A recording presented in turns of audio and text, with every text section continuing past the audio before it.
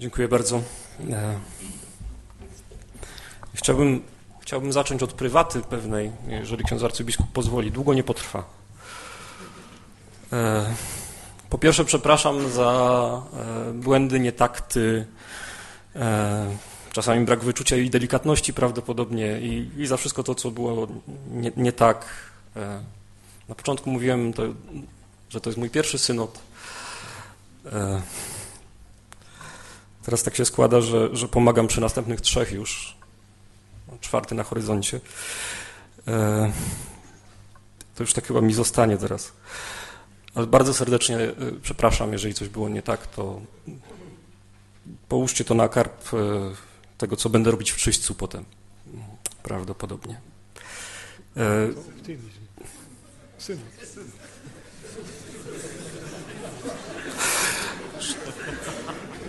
Czułem, że, że to zostanie podchwycone w tym. E, dziennikarze mnie pytali w tych dniach dużo, e, co było e, jakimś tam najciekawszym, czy najtrudniejszym, czy najłatwiejszym, czy naj, najbardziej radosnym doświadczeniem. Ja powiem tylko o dwóch rzeczach, to znaczy moje najtrudniejsze doświadczenie mm, w czasie tego synodu, i to będzie trudna rzecz, ale ja ją powiem, mm, to było przeciwdziałanie plotkom, spiskowym interpretacjom i e, nieprawdzie, która się niestety nam działa. To też jest wymiar życia naszego e, Kościoła, z którego pewnie trzeba się nam nawracać i powiem szczerze, e, jeżeli coś było rzeczywiście trudne, to to. To, że trzeba było czasami udowadniać, że się nie jest wielbłądem, bywało niełatwe. Natomiast na, na, na, drugim końcu jest doświadczenie, które dla mnie jest e, absolutnie e, rzeczą budującą wiarę. Jest najpiękniejszym wymiarem tego, co się, czego ja doświadczyłem w czasie synodu. Mianowicie e, praktycznie nikt nie odmawiał pomocy. I kiedy się tak chodzi od człowieka do człowieka, E, nie mając właściwie żadnej realnej władzy, a tylko e, tak możliwość proszenia. I kiedy się widzi, że e, ludzie nawet jak nie są do końca przekonani do sprawy, ale wiedzą, że, że, że ktoś prosi, to nikt nie odmawia. I to, to jest fascynujące doświadczenie tych czterech lat. To znaczy, taki mamy Kościół.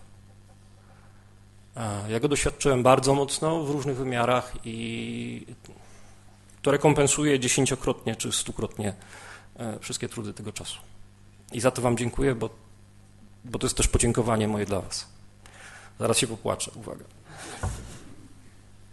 I to jest koniec prywaty. Mam nadzieję, że nie przesadziłem. E, do rzeczy.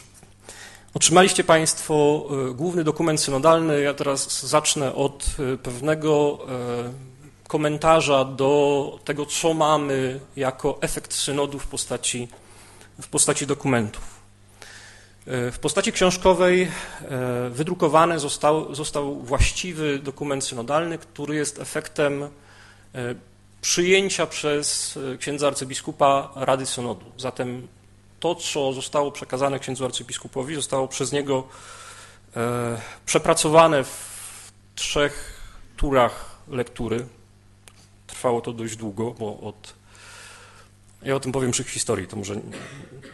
I e, to jest dokument główny, który e, otrzymaliście Państwo fizycznie. Natomiast to nie jest całość statutów archidiecezji. Na statuty archidiecezji składa, składa się ten dokument oraz zbiór aktów wykonawczych do niego, czyli e, instrukcje, statuty, wskazania i tak. Te dokumenty otrzymacie Państwo najpóźniej jutro w wersji elektronicznej, bowiem wydajemy je jako e, suplement do e, wiadomości archidiecezjalnych, zatem wersja drukowana będzie razem z wiadomościami z rocznikiem 2016 wydana. W tej chwili jest gotowa w wersji elektronicznej. E, wróćmy do spisu treści dokumentu głównego. Procedowaliśmy w czasie synodu niejako w odwrotnym porządku, to znaczy mm, zaczynaliśmy od kwestii, które y, być może nie są tak trudne do podjęcia, czy też nie tak palące, kończyliśmy na tych kluczowych. W dokumencie głównym w ostatecznej redakcji oczywiście nastąpiła pewna reorganizacja tych zagadnień wewnątrz klucza wspólnota, świadectwo, liturgia, służba. Myślę, że nie muszę wyjaśniać, dlaczego taki klucz. Były pewne dyskusje na temat tego, co, gdzie i co po czym, natomiast ostatecznie y, ta, ta wersja, ta wersja została przyjęta. Mm, proszę nie sugerować się kolejnością w sensie ważności. Tam inne, inne e, motywy e, grały pierwsze, pierwsze skrzypce. Nie będę ich wszystkich wyjaśniać, gdyby ktoś potrzebował takiego wyjaśnienia, to jestem do dyspozycji. Akty wykonawcze to jest coś, nad czym pracowaliśmy właściwie wzdłuż całego synodu. E, niekiedy w komisjach, niekiedy w, sekretariacie. E, I te prace także przebiegały w ten sposób, że kiedy e, mieliśmy już przygotowane schematy prawie gotowe, to one przeszły przez potrójną lekturę księdza arcybiskupa e, i nanoszenie jego poprawek. E, przed synodem mieliśmy 126 aktów prawa lokalnego e, obowiązujących bardziej lub mniej w diecezji, niektóre bardzo stare, bo to były wskazania jeszcze wydane zaraz po pierwszym synodzie. Po przeglądzie tego prawa część z nich została, się zdezaktualizowała, Część została zniesiona przez prawo wyższego rzędu, czyli na przykład e, dokumenty episkopatu. E, część postalaliśmy, to znaczy na przykład z trzech instrukcji dotyczących e, sakramentów wtajemniczenia chrześcijańskiego powstała jedna bardziej spójna i moim zdaniem jedna z najważniejszych w ogóle w, w tym posynodalnym mm, prawodawstwie. W wyniku tego mamy 47 aktów E, prawa lokalnego plus jeden, to znaczy e, statut kapituły, który nie jest opublikowany w, w tym zbiorze, bowiem e, musi być jeszcze przegłosowany przez kapitułę, która się zbierze, się zbierze w styczniu, więc wejdzie do, do wiadomości archidiecezjalnych na przyszły rok. Uchwały synodalne i akty wykonawcze do nich będą obowiązywać od 1 stycznia 2017 roku. E, wtedy e, także stracą, stracą moc wszystkie wcześniejsze akty prawa lokalnego, chyba że ksiądz arcybiskup wyraźnie zaznaczy inaczej. E, w najbliższych tygodniach będzie przygotowana, zapowiadana broszura na potrzeby parafii E, która będzie służyła do wdrażania potem synodu. Ksiądz arcybiskup także poprosił, mogę o tym powiedzieć? E, o, o wyciąg e, tego, co jakby sam sobie zleca w ramach synodu. Więc taki dokument też powstanie, ale tylko i wyłącznie na użytek księdza arcybiskupa.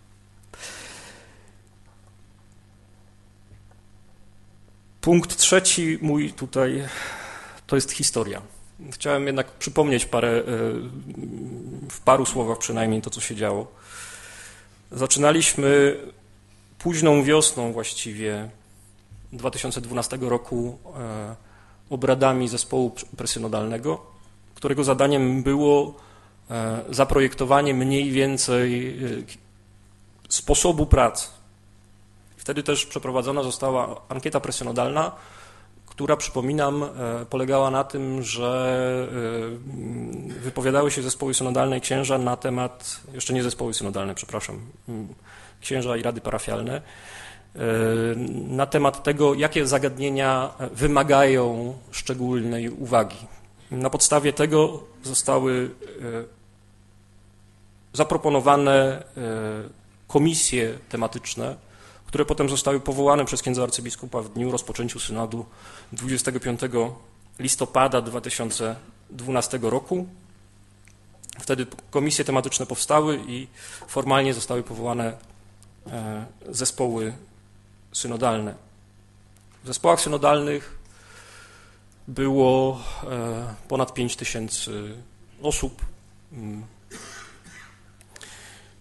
Oczywiście y, jedno z pytań, które padało, to ile z tych zespołów jest żywych i y, ile z tych osób rzeczywiście uczestniczyło w pracach synodalnych. Nie jestem w stanie precyzyjnie na to pytanie odpowiedzieć, natomiast na każdym z dni skupienia dla zespołów synodalnych w katedrze było po ponad pół tysiąca ludzi.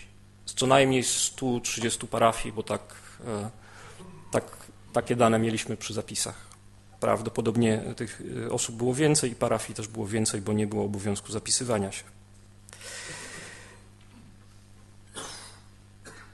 Pierwszy etap konsultacji po tym, jak e, komisje przygotowały swoje ankiety, czyli e, przygotowały e, pytania dotyczące zagadnień, które wstępnie zidentyfikowały jako istotne, odbył się w okresie kwiecień-lipiec 2013. I wtedy już dość intensywnie pracowała Komisja Główna, która krytycznie przeglądała każdą ankietę przed jej e, opublikowaniem i w dialogu z przewodniczącymi komisji powstawała ta wersja ostateczna, która została przekazana do realizacji. Nie będę szczegółowo o ankietach mówić. Tego materiału jest sporo, e, jest do wglądu, gdyby kogoś interesowało, do badań i tak dalej. Parę prac tam może powstać, jakichś naukowych podejrzewam. Na podstawie ankiet nastąpiła identyfikacja kwestii szczegółowych przez komisję i procedowaliśmy w taki sposób, że zadaniem każdej komisji było e, zrobienie takiej tabelki, która prawdopodobnie niektórym się śniła po nocach wtedy, e, która składała się z, z identyfikacji problemu, e, wskazania rozwiązania i uzasadnienia. I ten, ten sposób pracy sprawiał, że trzymaliśmy się w miarę blisko ziemi, mam nadzieję. I później y, ten materiał poszedł do kolejnych konsultacji, to był maj, lipiec 2014. Y, Na podstawie materiału, który wrócił, y, komisje przygotowywały projekty i jednocześnie dokonywały rewizji aktów wykonawczych tam, gdzie to było potrzebne albo już możliwe, to, to pierwsze prace się dokonywały. 14 marca 2015 odbyła się pierwsza sesja plenarna i potem pracowaliśmy właściwie równolegle, to znaczy z jednej strony już niektóre dokumenty były e, dyskutowane na auli synodalnej, a e, jednocześnie komisje kończyły swoje schematy i Komisja Główna e, pracowała niejako w rozkroku, to znaczy z jednej strony zajmując się mm, tymi dochodzącymi dopiero dokumentami, z drugiej strony już równolegle z e, sesjami plenarnymi. 7 maja e, odbyła się 11 sesja plenarna. Mm, po drodze odbyło się jeszcze 13 otwartych spotkań, otwartych posiedzeń komisji synodalnych. I w połowie czerwca księdzu arcybiskupowi została przekazana Rada Synodu, którą Państwo też wtedy otrzymaliście. E, a potem nastąpił e, dość intensywny czas e, pracy sekretariatu i jeszcze intensywniejszy chyba księdza arcybiskupa, mianowicie mm, została przygotowana taka wstępna redakcja uspójniająca językowo mm, ten dokument, rozdysponowanie odpowiednie struktury i potem ksiądz arcybiskup w trzech lekturach korygował te dokumenty i dodawał, ujmował i tak dalej. W pierwszym czytaniu dokumentu głównego było 90, teraz się nie chcę pomylić, ale 5 albo 7 poprawek naliczyłem. E, wszystkie, wszystkie, znaczy cała dokumentacja z tych poprawek będzie w archiwum archidiecezjalnym. Kiedyś będzie można do tego e, zajrzeć. Te prace trwały e, właściwie nad aktami wykonawczymi do e, pierwszego tygodnia listopada, bowiem, bowiem wtedy e, ksiądz arcybiskup dokonał e, ostatecznej lektury aktów wykonawczych i, właśnie, i wtedy można było powiedzieć, że praca jest zakończona od strony redakcyjnej. To tyle, jeżeli historia. Punkt czwarty i ostatni.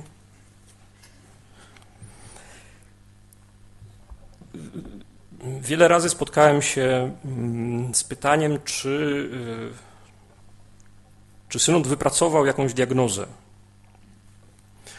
Myśmy y, starali się unikać y, jakiejś takiej opisowej diagnozy sytuacji, która będzie narracją przez ileś stron, bo niebezpieczeństwo było takie, że ona po pierwsze nie, nie obejmie złożoności sytuacji, po drugie za chwilę się może zacząć dezaktualizować. Raczej staraliśmy się odpowiedzieć na pewne y, konkretne wyzwania. Natomiast ja uczestnicząc w pracach i, i także asystując komisjom z różną intensywnością,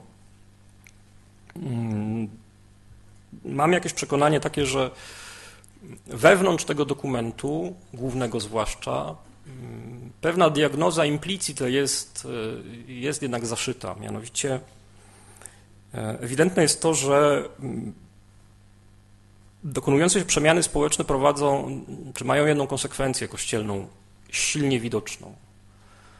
Mianowicie to, że e, utrudnione jest znacznie przekazywanie wiary między pokoleniami. Myślę, że tego doświadczamy wszyscy, duszpasterze o tym doskonale wiedzą, bo, bo to widzą na co dzień. E, co jest związane z tym, że e, starsze pokolenia, które niejako genetycznie przejęły wiarę i ona tam jest żywa, głęboka, prawdziwa, to, to co teraz będę mówić, to nie, nie jest ocena. Tak.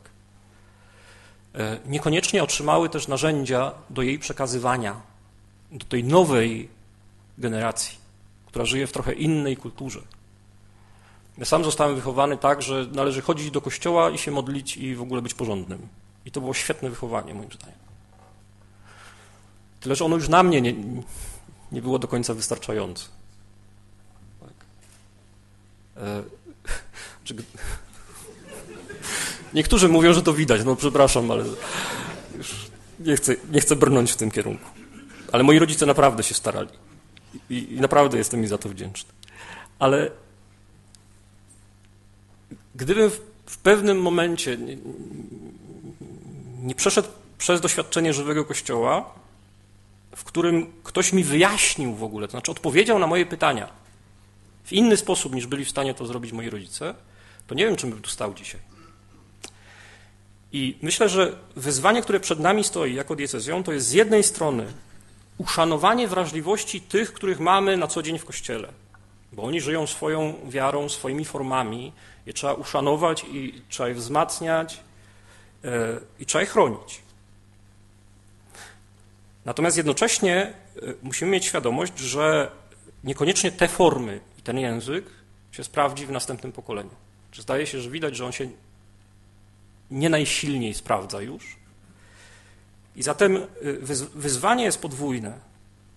To znaczy, z jednej strony takie, żeby szukać nowego języka i nowych form, które będą odpowiadać tym y, ludziom z nowej kultury idących, idącym, a z drugiej strony wlewać jednak trochę nowego wina do starych bukłaków. To jest ryzykowny proces zawsze. Ale chodzi o to, żeby y, ci nasi genetyczni wierni otrzymali trochę przynajmniej narzędzi, żeby potrafili mówić o swojej wierze. Nie tylko mówić, że należy wierzyć. Mówić o tym, jak ją przeżywają, e, jak jej doświadczają i o co w niej chodzi. Bo oni to wiedzą, tam w środku to tam siedzi w ogóle. Często nie mają y, językowych, e, edukacyjnych narzędzi do tego, żeby to zrobić, bo, bo ich nie utrzymali w dostatecznej, dostatecznie intensywnie. I dlatego potem biedzą się z, z przekazem wiary. Często w konfesjonale się spotykam z sytuacjami takimi, że ktoś się pyta, że co ja robię źle? Że te moje dzieci nie chcą chodzić do kościoła. Co, co ja robię źle? Ja myślę, że wokół tego pytania y, koncentruje się cały dramat tej sytuacji przejścia. Że oni właściwie nic nie robią źle. Tyle, że nie mają narzędzi do tego, żeby zrobić troszkę inaczej. I myślę, że to jest gigantyczne wyzwanie, bo my mamy tam olbrzymi potencjał wewnątrz normalnej y, pobożności śląskiej, ludowej, nazwijmy ją jak chcemy. Mnóstwo ludzi, e, którzy są w stanie za, za wiarę oddać życie, za Pana Jezusa oddać życie. I to jest gigantyczny potencjał. Natomiast jeżeli chcemy, żeby następne pokolenie tym mogło żyć, to musimy temu pokoleniu starszemu nieco pomóc w przekazaniu wiary. I teraz trudność, która y, nas dotyka, moim zdaniem, jako duszpasterzy, także to to, że, że nam się nie, nieraz zdarza przeciwstawiać te dwie rzeczywistości. Znaczy, że y, przeciwstawiamy piękno tradycyjnego duszpasterstwa y, dziwadłom duchaczy, tak? albo, albo odwrotnie. Tak? Piękno duchowego doświadczenia w, nie wiem, w ruchu światło-życie różańcowi w, w październiku. Tak? To jest dramat. To jest coś, co musimy w sobie przewalczyć, a trzeba pamiętać, że każdy z nas bardziej jest nogą albo w jednym, albo w drugim z tych basenów. W związku z tym jego wrażliwość jest bardziej w jedną albo w drugą stronę. I teraz to, myślę, co nas czeka po synodzie. Jeżeli ta diagnoza jest prawdziwa, to jest moja diagnoza prywatna, to nie jest diagnoza synodu. E, ale myślę, że ona wyrosła na myśleniu przy okazji synodu mocno to my musimy y, najpierw w sobie przepracować kwestię tego dualizmu, to znaczy powiedzieć sobie, że musimy to rozdarcie przełamać w sobie najpierw. Dziękuję bardzo.